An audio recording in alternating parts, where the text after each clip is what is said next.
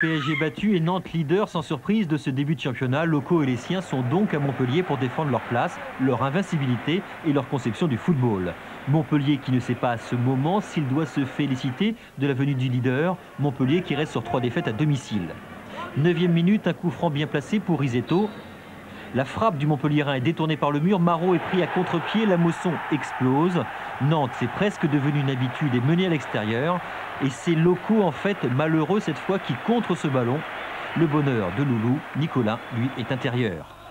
Nantes est mené, Nantes donc attaque, l'on touche de Carambeu, cette tête trouve le petit filet, Endoram n'est pas content, il réclame un corner et il a raison, en fait, c'est Loret qui sort ce ballon de la tête. Ciodo est inquiet en ce début de rencontre. Montpellier trouve souvent la faille. Là, c'est Der Zakarian qui inquiète Marot.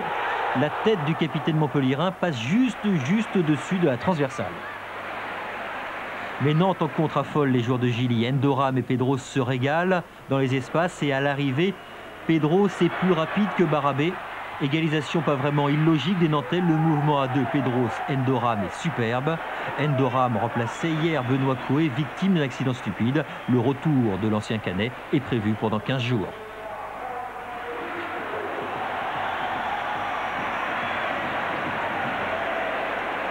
Au repos, Nicolin, comme à son habitude, est tendu. Il a raison, la première occasion est nantaise. Makelele, Endoram et lumineuse ouverture du Tchadien pour Pedros.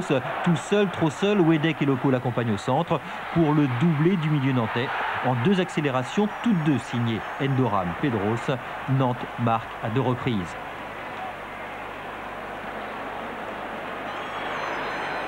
Montpellier et la Mosson semblent KO. Gilly fait alors rentrer Alicart et pression sur le but nantais.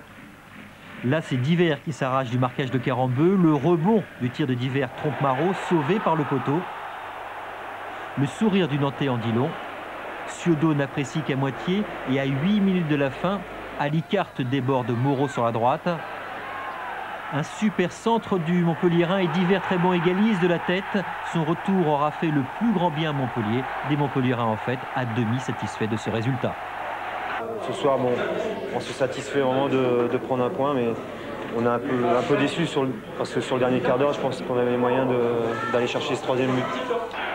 L'égalisation est méritée et ce résultat arrange en fait les deux équipes. Nantes est toujours invaincu. Montpellier s'est rassuré.